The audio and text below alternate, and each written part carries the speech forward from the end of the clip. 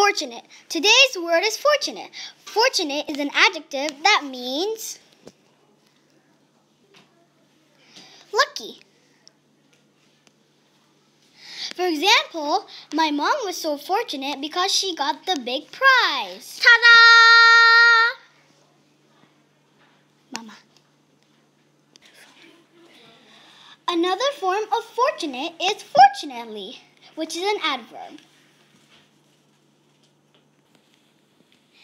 For example, fortunately, I was in the same class with my BFF. BFF. Created by Lisa. Thanks for watching.